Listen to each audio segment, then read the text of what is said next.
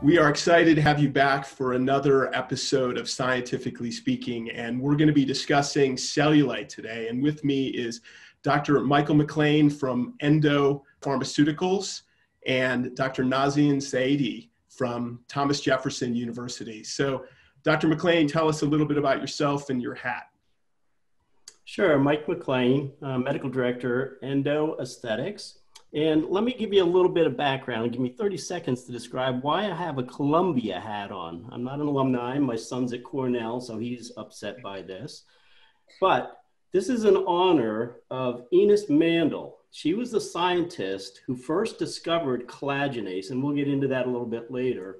She was the one to discover it at Columbia, and an interesting lady. Now, why do I actually focus on her?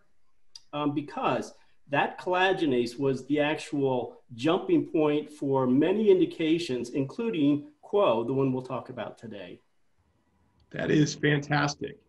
And Dr. Naz Saedi is the director of the cosmetic and laser unit at Thomas Jefferson University, and she is a board certified dermatologist and fellowship trained in aesthetic dermatology. My baseball hat is a Phillies hat. So I am in Philly, but I actually grew up here. I did my training everywhere but in Philadelphia. And um, even currently, when my husband and I moved to more suburban life, we still live in Philadelphia. So I'm a die-hard Philadelphia fan. I know it rubs people the wrong way. My husband's from Boston and a die-hard Boston fan, but I love Philly sports and I basically love everything Philly. Excellent. So I'm Joel Cohen. I'm a dermatologist and fellowship trained in aesthetics and Mohs surgery, and I practice in Denver, Colorado. And I'm excited to be speaking with everybody today, um, and Dr. McLane and Dr. Saedi and Wally Klemp about cellulite. And this is an area that we know that there's a lot of excitement and a lot of recent innovations and a lot of attention.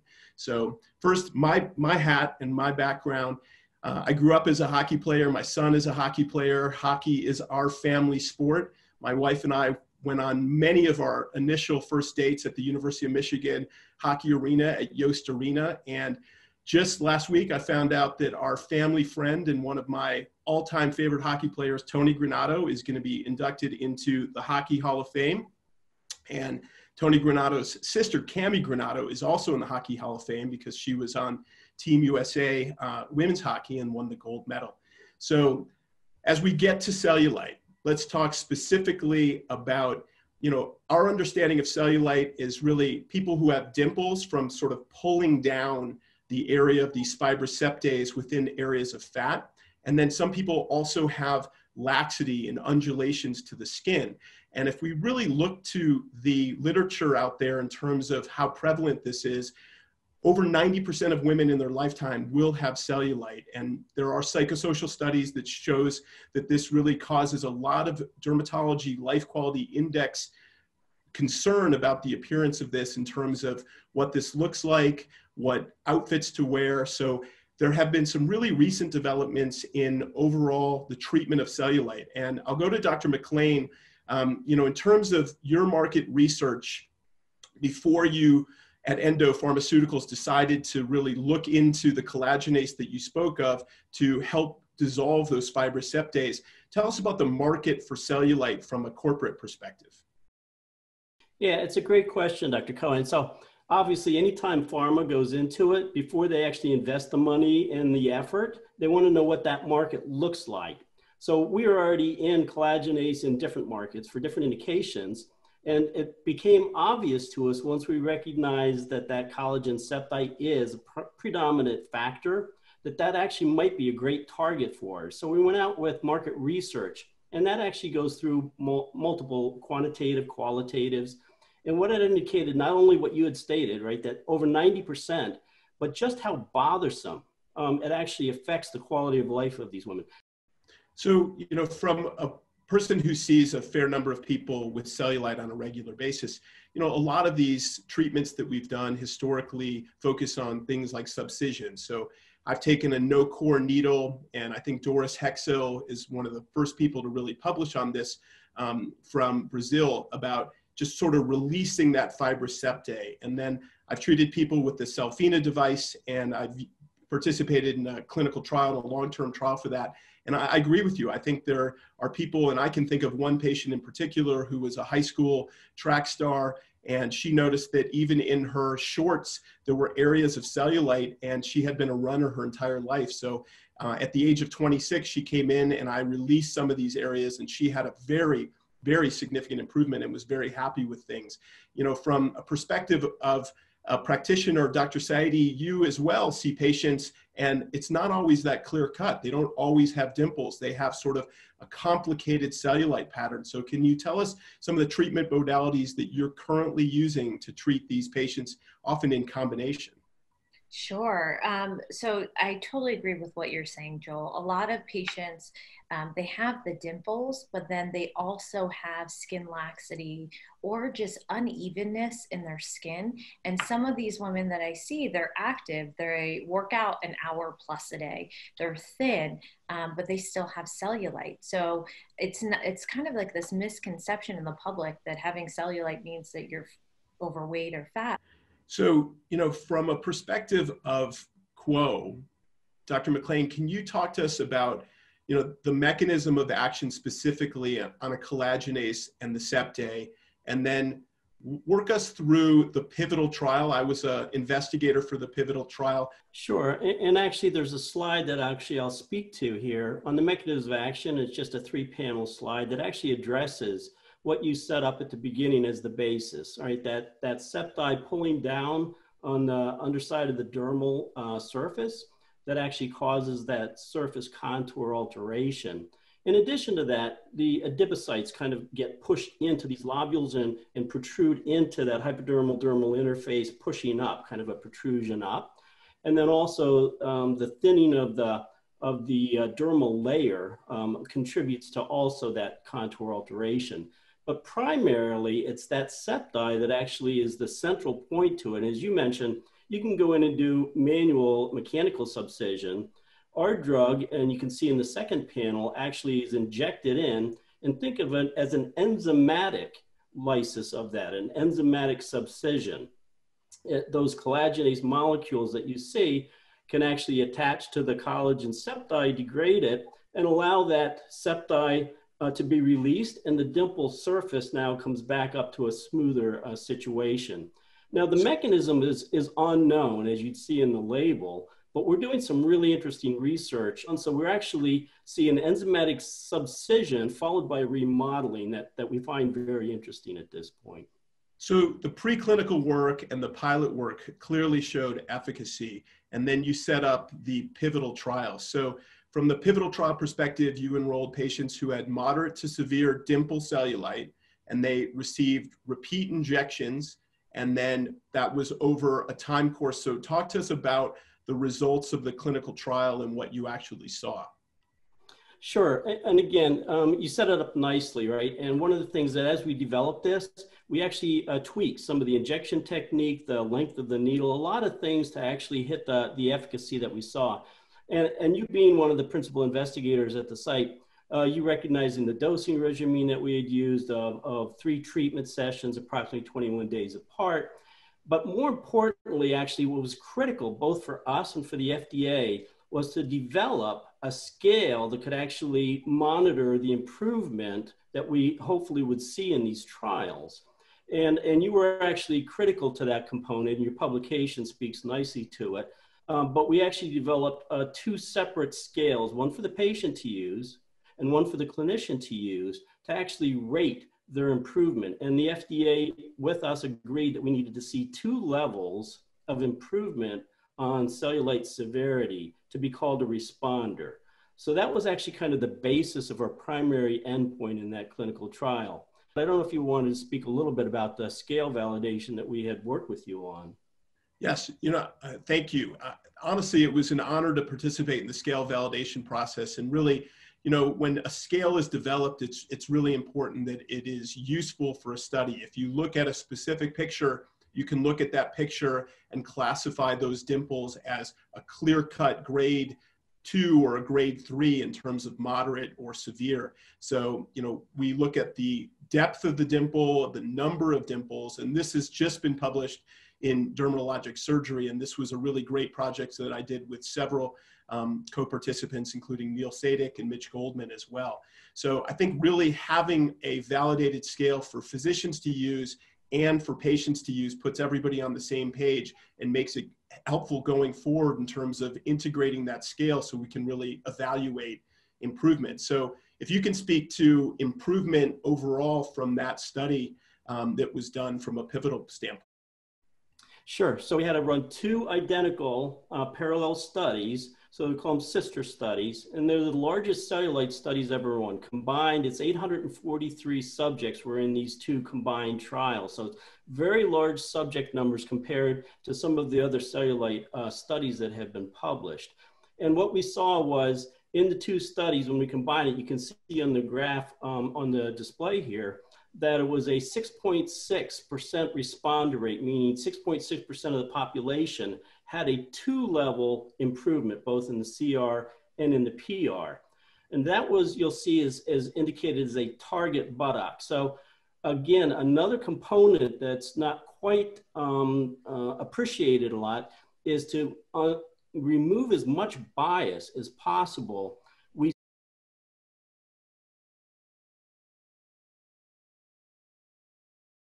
selected randomly either the left buttock or the right buttock to be the target buttock that would dictate what that person was in the response um, at the end of the study. And we were blinded. We were blinded both to the treatment as well as the subject, the investigator, and it was blinded to which target buttock was selected by our randomization scheme.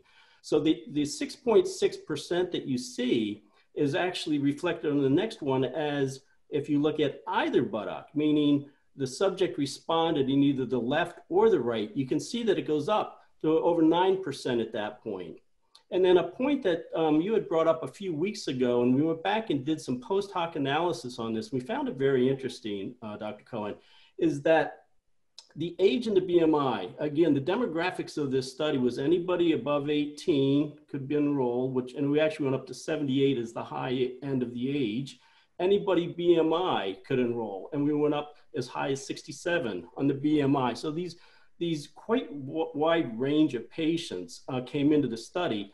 But when we went back and looked at subgroup analysis, again, post hoc, subgroup analysis, you can see on this graph as you continue to reduce a cutoff at 32 and then less than 60 years of age, less than 50 years of age, and less than 40 years of age, you actually go above 20% on the responder rate of the two point. And I think uh, actually the thing that speaks more than words or these figures is actually to show you a couple of photos, if you'd like, of a two-point responder that we have. And this is actually something you're familiar with. It's called an Alabaster 3D rotational. And you can see the improvement of the dimples very well on the 3D uh, animation of that subject. And also there's a subject at a one level because what we found from the market research that I started off at the beginning, even a one level change um, can actually be important to the subject. And in fact, your, your paper, your validation paper showed that a one level change is clinically meaningful to the patient. So what were the actual one level improvement numbers? Yeah, the one level improvement numbers were actually much higher as you'd expect over the, uh, the two level components. So those were in the 40% range. And what we're looking at now is that same subgroup analysis that we did for the two point, meaning as you decrease the age subgroups, does that one point go up? And that's what we're actually doing right now behind the scenes. So, Dr. Saedi, from your clinical experience, does that really echo what Dr. McLane is saying in terms of, you know, when you see a patient and you employ modalities to treat cellulite, are you seeing more improvement for younger patients and, and patients with a lower BMI? Or really, what's your approach to seeing improvement for these people? Um, I see more improvement in patients who are younger. Um, I think that BMI does play an issue, um, but in these with these other treatment modalities, if patients have very lax skin that's also contributing to the appearance of cellulite or exacerbating the appearance, they're not going to respond as well to the devices and injectables. And you know, laxity and what we see clinically, you know, can be very tough in terms of the whole spectrum of cellulite. You mentioned using radio frequency technology and hyperdilute fillers. So, you know, first, let's let's talk about radio frequency. So the radio frequency, the bipolar fractional radio frequency devices that are out there, there are insulated needles and non-insulated needles. And then you can choose different depths of engagement, 1.5 to really 3.5 millimeters. Can you speak to your approach to treating these, these patients with laxity with these devices? Sure. So I have been using more just, um, I use the radio frequency devices with microneedling because I find that that improves skin texture more in those areas.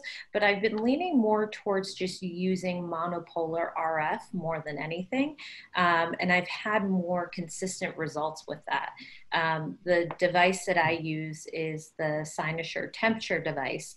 Um, and by doing treatments in two week intervals and having patients do a series of treatments, about four to five treatments, um, you can see improvement in the appearance of laxity, but also in the appearance of their cellulite over that time course.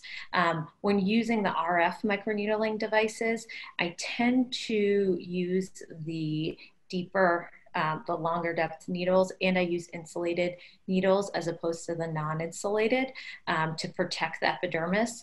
Um, but I've shifted more towards using monopolar RF than using the microneedling devices. Okay. And then, you know, looking at the dilute fillers, so people have looked at dilute radiesse as well as dilute sculptra.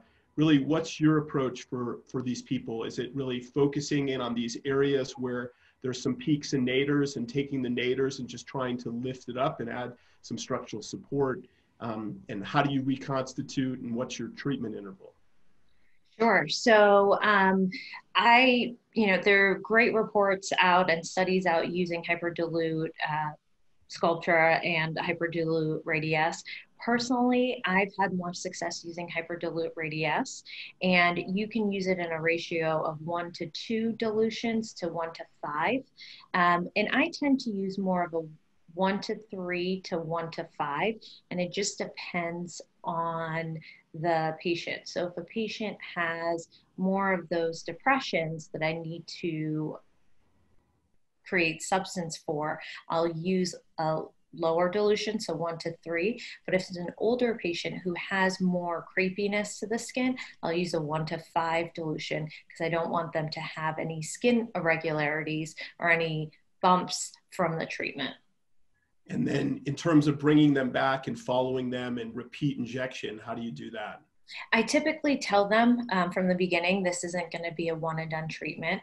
Um, we're going to see each other multiple times, and along the way, you'll see improvement, but you'll also continue seeing improvement after we're done the series of treatments. My treatment interval is four to six weeks in between the treatments, and I tell them two to three treatments. So Dr. McLane, still on the subject of injectables, when we look specifically at Qwo, which has now been FDA approved um, for the treatment of dimple cellulite, during the course of the study, the patients were allowed to have 12 injections in the buttock in the area of the dimple. So um, can you take us through the injection, the type of needle, the, the delivery of the collagenase, and then what some people sort of experienced in terms of your pain scores, as well as some of the swelling or bruising that was seen in the studies? Sure. So the injection technique is critical to it. Um, and it's something that we developed uh, through the earlier studies. But the actual injection is done using a 1 cc syringe attached to a 30 gauge, one half inch length needle. That one half inch length gets down to the, what we call the trunk of the septi. So you're not just clipping some of the tree branches that hold the, the underside of the dermis. Um, and the injection, since we can't see the septi uh, with our own visual, the injection technique is actually perpendicular to the skin. You pull back out, I'm sorry, deposit 0.1 ml, you pull the tip almost out and redirect the tip 45 degree angle uh, to the cephalic, deposit another 0.1, and then caudal, 45 degrees caudal, 0.1 what the idea is, without being able to see the septi with our own eyes, hopefully we're depositing kind of a, uh, of a, a 0.3 ml that will surround that septi to allow it to be released with the collagenase. Uh, and the injection technique is correct. It's up to 12 injections per buttock, um, and therefore both buttocks were treated for 24 total injections. And they were allowed during the trial, if it was a, a more of an elongated um, dimple, they could actually do two injections approximately two centimeters apart to actually flood the septoid bands that might be holding that down. So, Dr. McLane, so in the course of this trial, we did not control for people who were on, on a host of different vitamins and herbal supplements ginseng, garlic, ginger, ginkgo, kava kava, celery root, fish oils, vitamin E, those types of things, and didn't really control for people who um, really went out to Orange Theory or had major workouts and things like that. Um, you know, so in terms of real life experience, Naz, can you talk to some of the things that you typically tell your patients, really specifically after like injectables, like like the dilute Radiesse? Sure. So um, a lot of these patients are motivated patients at baseline, but that also means that they're very active. Um, so I do tell them for 24 hours not to do any kind of intense exercise. They can go for a walk, um, which most of them don't consider exercise, um, but that's really the extent of their activity. Um, I tell them not to do activities like Orange Theory or Soul Cycle. Um, COVID times makes it a little easier for that, but to really be mindful of their activity over the next 24 hours. Um, when I do them, the devices, um, I'm not as concerned, so they can resume normal activity. Um, and the downtime with monopolar RF is minimal. And then, you know, I think there's obviously a tremendous amount of excitement at some of the happenings in cellulite with Qwo becoming approved and expecting us to see it in 2021 and then some of the other technologies that, that are on the radar. So, so Naz, can you speak to you know other technologies that you're aware of on the radar? You know, we spoke to Wally Klemp and we, we heard a little bit about Soliton and the acoustic subcision. But really, how do you think you and I and other cosmetic and aesthetic physicians are going to be treating sort of cellulite in general a year from now and then a few years from now, sort of in combination? I think that, um, Joel, I think we're going to be treating in combination. And I think that our combinations are going to get a little bit more elaborate. So, uh, using Qwo to treat the dimples and then using um, maybe some of the other devices like Soliton also to treat, break down the fibrous bands. Um, but then I also think there's still going to be a place for using these hyperdilute fillers in patients who have crepey skin or who need improvement in their skin laxity um, as well. But I think it's going to, our algorithm for treating these patients is going to get a little bit more complicated, but I think our overall treatments are going to be more effective. And then Dr. McLane, what are your plans for really, you know, thinking about the launch of Qwo? I know you guys are in the planning stages of a lot of exciting things. And then, you know, really what else are you looking at in terms of Qwo um, going forward in terms of other studies? Yes, so, so we're looking at, uh, and again, this is a, a great opportunity for people like yourself, Dr. Saeed, to actually um, uh, suggest ideas to us, right, through um, ISRs or something of that nature from the aesthetic side. There's maybe four or five things that we have uh, bubbling in the background that we're thinking of um, that probably come to your mind also. But the, the activities behind the scene at Pharma, if you've never been there for a launch, are unbelievable. And it doesn't compare to, you know, four nights of call from your old days type of thing. But it really is intensive as, as the commercial group